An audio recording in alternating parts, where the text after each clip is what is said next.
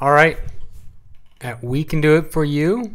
All you need to do is sign up under services, scroll down to the bottom, provide your name, email address, and order now.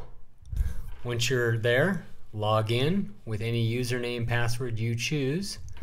Fill in the details, including your name, email, URL, vBulletin email, vBulletin password, vBulletin customer number, cPanel URL, cPanel login username, cPanel password, your vBulletin URL, your vBulletin admin user and password, then submit.